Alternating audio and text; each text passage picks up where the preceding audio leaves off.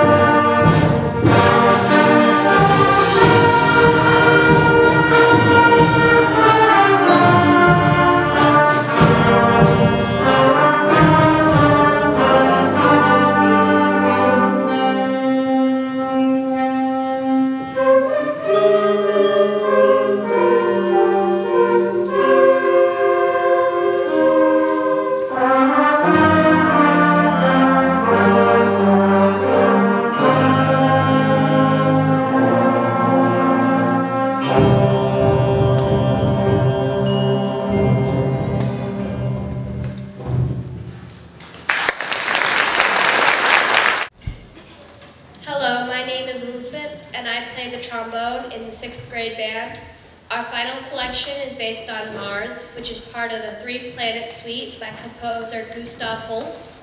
The original version was written for a professional orchestra and is way too difficult for us, but composer Brian Balmages arranged this version to be played by beginning bands. It has been very challenging for us, and we are proud to perform Bringer of War.